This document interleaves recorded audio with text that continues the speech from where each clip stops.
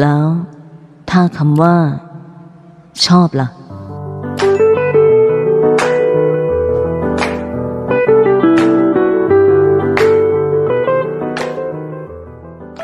สวัสดีผู้ฟังทุกท่านกลับมาด้วยกันกับหมูกระต่ายช่องของหมูกระต่ายเดินทางกลับมาด้วยกันกับนิยายวายเรื่อง ความรักของผมเป็นคุณได้ไหม แต่งโดย Lighter Control S นิยายเรื่องนี้เป็นเรื่องที่แต่งขึ้นจากจินตนาการของผู้เขียน ไม่มีความเกี่ยวข้องกับบุคคลสถานที่ หรือเหตุการณ์จริงใด ๆ เหมาะสำหรับผู้ฟังที่มีอายุ 18 ปีขึ้นไป โปรดใช้วิจารณญาณในการฟัง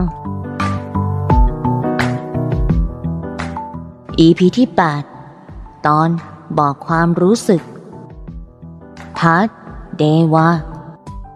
หลังจากที่เพื่อนๆทานข้าวกันเสร็จเรียบร้อยแล้วนั้น ทุกคนก็ได้ขอตัวกลับกันก่อน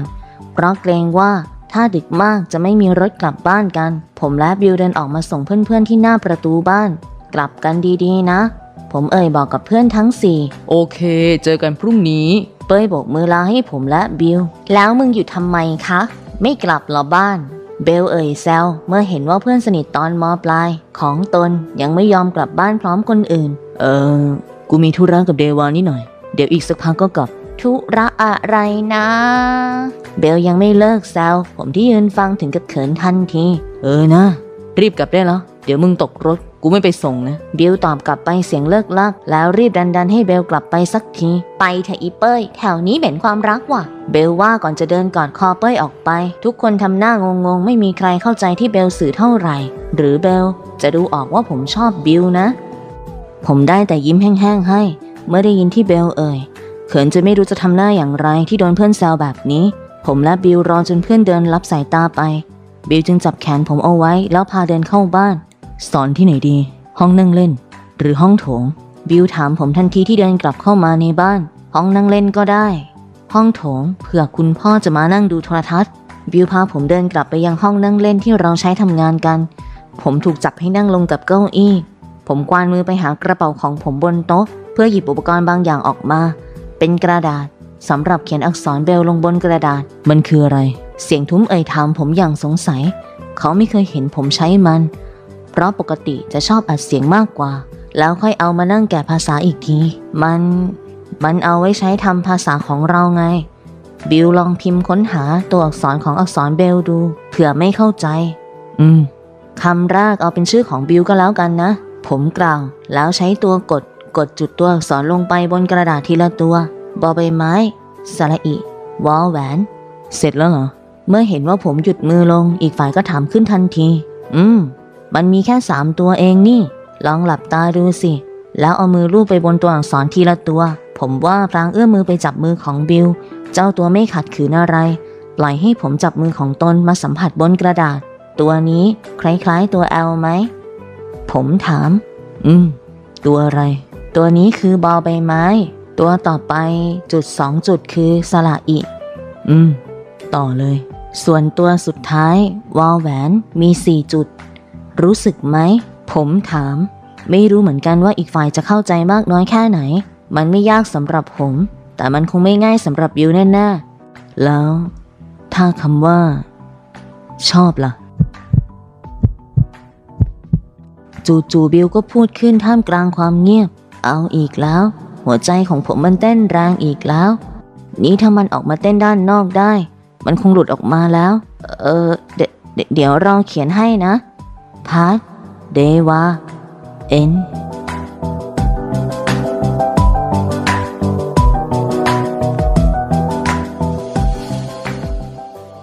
part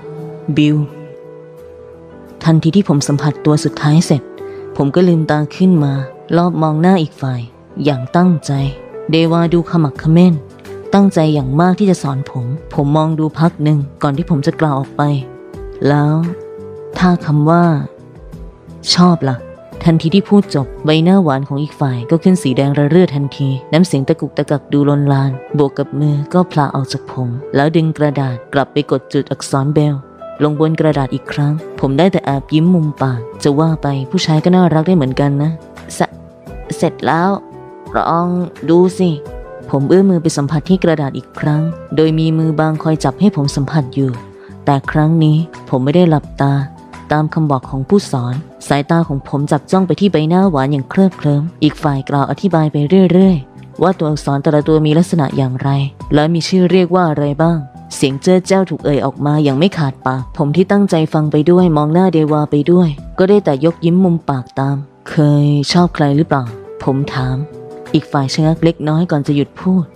สีหน้าดูเหมือนกระอักกระอ่วน แต่สายตากลับไม่บอกความรู้สึกอะไรไม่เคย ไม่เคยชอบใคร ไม่เคยมีความรักเลยเหรอ ผมถามอย่างสงสัยไม่แปลกใจเท่าไหร่ เพราะด้วยเดวาเป็นแบบนี้ แต่อยากรู้จากปากมากกว่า แล้วชอบเราไหมสรรพนามถูกเปลี่ยน ผมอยากจะลองพูดเพราะๆกับอีกฝ่ายดูบ้าง ผมไม่ได้โง่นะครับ ที่ดูไม่ออกว่าอีกฝ่ายรู้สึกอย่างไร เดวาเองก็ดูเหมือนจะรู้สึกดี และชอบผมอยู่ไม่น้อย ผมเป็นคนชอบความชัดเจน หากคำตอบในใจของเราทั้งคู่ตรงกัน ผมก็ยินดีที่จะเรียนรู้ความสัมพันธ์ เออคือ เราชอบนายอีกฝ่ายทำหน้าอึ้งเล็กน้อย แต่สายตาก็ยังดูว่างเปล่าอยู่ดี นี่ผมจะนกไหม ถ้าหากเดวาไม่คิดอะไร ไม่รู้สึกอะไรเหมือนกัน จะทำอย่างไร เราก็ชอบบิวเหมือนกัน ทันทีที่พูดจบ เดวาก็หันหน้าหนีผมทันที ไม่รู้จะหันหนีทำไม แต่สังเกตได้จากสีหน้าแดงระเรื่อก็พอจะเดาออกว่าเจ้าตัวคงเขินผมแน่ๆ ผมระบายยิ้มออกมาอย่างห้ามใจไม่อยู่ ผมไม่นกสินะ เหมือนจะดูเร็วไปหน่อย แต่ผมสัญญาว่าจะไม่เร่งรีบในความสัมพันธ์ ผมจะค่อยๆ เรียนรู้และค่อยเป็นค่อยไป งั้น เรามาลองทำความรู้จักกันให้มากขึ้น และเรียนรู้กันให้มากขึ้นดีไหม อีกฝ่ายหันหน้ากลับมาบอกผม พร้อมยิ้มให้อย่างอ่อนโยน อะไรอะ ต่างคนต่างชอบกัน เป็นแฟนกันเลยไม่ได้เหรอ ผมแกล้งงองแงใส่ ดูสิว่าปฏิกิริยาของอีกฝ่ายจะเป็นเช่นไร ก็ก็เราเพิ่งรู้จักกันได้ไม่นาน อีกอย่าง เราไม่เคยมีความรัก ไม่รู้ว่าถ้าเป็นแฟน เราต้องทำตัวยังไง และเราก็อยากรู้จักบิวให้มากกว่านี้ก่อน บิวโอเคไหม คำพูดยืดยาว บวกกับสีหน้ากระวนกระวายใจ ถูกพ่นออกมา ผมที่ได้แต่ยิ้ม และขำในลำคอเบาๆ กับการกระทำนั้น เราล้อเล่นเนี่ยค่อยๆเป็น ค่อยๆไปก็ได้ ถ้าเดวาต้องการ เราก็อยากจะรู้จักเดวาให้มากกว่านี้เหมือนกัน อืมขขอบคุณนะหืมเรื่องอะไร ก็ขอบคุณ ที่ไม่รังเกียจที่เราตาบอดและ ที่เราเป็นผู้ชาย ความรักมันไม่ได้ขึ้นอยู่กับเพศ และสิ่งภายนอกหรอก เราชอบเดวาที่ใจ เดวาเป็นคนดี น่ารัก แถมน่าฟัดอีกต่างหาก Wow. ผมตบทิ้งท้ายอย่างแผ่วเบา อีกฝ่ายหน้าแดงตีแขนผมแรงบบ้า ฟัดอะไรกัน ผมหัวเราะชอบใจได้แกล้งอีกฝ่าย ให้เขินจนหน้าแดงนี่มันสนุกดีจริง ๆ งั้นเริ่มจากอะไรดี ผมถาม เพราะผมก็ไม่รู้เหมือนกันว่าการที่เริ่มต้นศึกษาดูใจกันนั้น ต้องทำอย่างไร เพราะที่ผ่านมาแค่ผมถูกใจก็ตกลงคบกันเลย ก็ใช้ชีวิตปกติ คอยสังเกตว่าชีวิตความเป็นอยู่ของเรา และบิวเป็นยังไง มีตรงไหนไม่โอเคไม่ชอบอะไร ไม่สบายใจควรปรับปรุงอย่างไร ก็ขอให้บอกกัน และคุยกันตรงๆ อืม แล้ว หอมแก้มได้ปะ ผมถามออกไปตรงๆ นั่นกลับทำให้สีหน้าของอีกฝ่ายที่แดงอยู่แล้วแดงยิ่งขึ้นไปอีก อีกฝ่ายมีสีหน้าเลิกลักทำผมหลุดขำสำหรับผมมันคือเรื่องปกติ ถ้าเป็นแฟนกันจะหอมแก้ม หรือมากกว่านั้นคงเป็นเรื่องธรรมดา แต่สำหรับเดวาคงเป็นเรื่องที่แปลกใหม่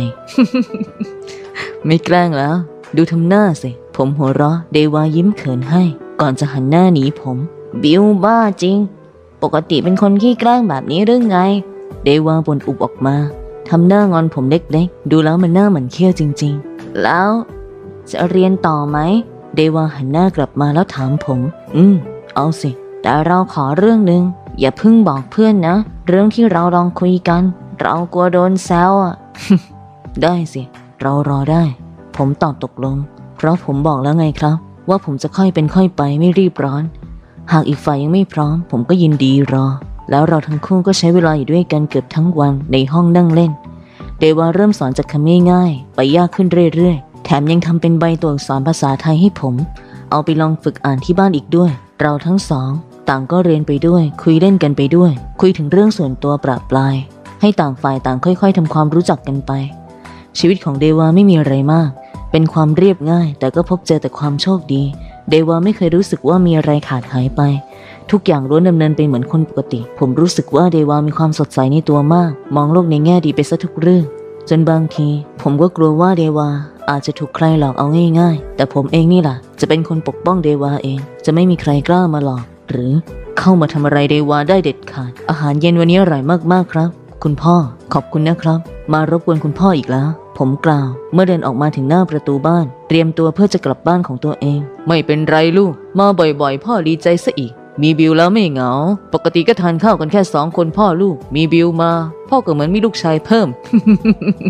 ผมยิ้มตอบให้กับชายวัยกลางคน เป็นผู้ชายที่แสนจะอบอุ่นใจดี ใครได้เป็นสามีคงรู้สึกดีไปตลอดชีวิต ผมยกพนมมือไหว้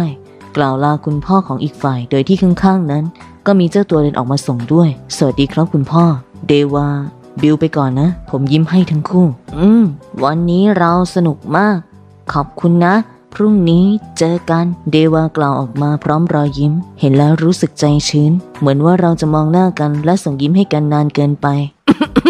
สงสัยวันนี้คงจะไม่ถึงบ้าน คุณพ่อเอ่ยแซวทำให้ผมและเดวาหลุดขำเล็กน้อย ผมกล่าวลาอีกครั้ง ก่อนที่จะเดินไปขึ้นรถ แล้วขับออกไป part บิล end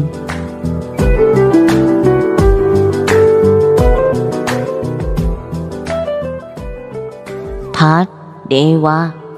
หลังจากที่บิวกลับไป ผมกลับเข้ามาในบ้านพร้อมกับคุณพ่อ วันนี้เป็นวันที่มีความสุขและรู้สึกดีอย่างบอกไม่ถูก ผมดีใจที่บิวก็รู้สึกเหมือนกันกับผม ผมไม่ได้คิดไปเอง หวังว่ารักครั้งแรกของผม คงจะไม่ใจร้ายหรอก มั้ง ผมเดินขึ้นมาบนห้อง โดยมีคุณพ่อขึ้นมาส่งเช่นเคย ผมล้มตัวนั่งลงบนเตียง คุณพ่อเดินไปหยิบเสื้อผ้าสำหรับใส่นอน และผ้าขนหนูเตรียมไว้ให้ผม คุณพ่อครับ ผมอยากมองเห็นเร็วหืม ปกติไม่เคยรีบร้อน มีอะไรหรือเปล่าๆน้ำเสียงของคุณพ่อถามขึ้นอย่างเอ่ยแซวมากกว่าที่จะจริงจัง ก็เพราะเขาน่ะ ดูออกนะสิ ว่าลูกชายคนเดียวของเขาคิดอะไร รู้สึกอะไรอยู่คือคือผม อยากเห็นหน้าบิวแล้วใช่หรือเปล่า คุณพ่อถามขึ้นอย่างรู้ใจคครับ เจ้าบิวไปทำยังไงนะ ถึงทำให้ลูกของพ่อ รีบร้อนใจอยากเห็นหน้าเขาแบบนี้ ไม่ขนาดนั้นหรอกครับ ผมก็อยากเห็นคุณพ่อ